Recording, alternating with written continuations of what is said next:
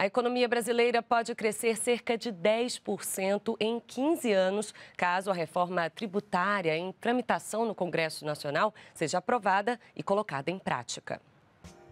O debate Reforma Tributária e a Indústria foi organizado pelo jornal Correio Brasiliense e contou com a presença de representantes da indústria no Brasil e de especialistas no tema.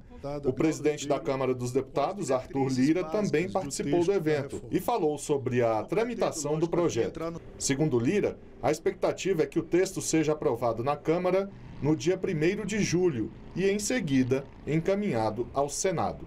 No último dia 6 de junho, nós tivemos o encerramento do grupo de trabalho da reforma tributária, com a apresentação do relatório do deputado Agnaldo Ribeiro com as diretrizes básicas do texto da reforma.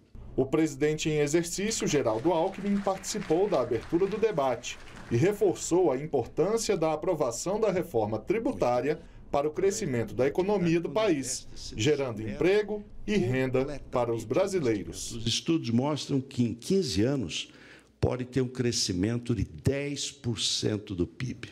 10% do PIB. Passa a ter uma alocação de investimento muito mais é, eficiente e com bons resultados para o país.